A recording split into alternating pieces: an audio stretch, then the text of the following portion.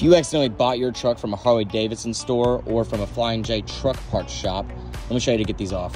Chevy guys aren't used to this, but you gotta use something a little longer and think with your dipstick, Jimmy. Each.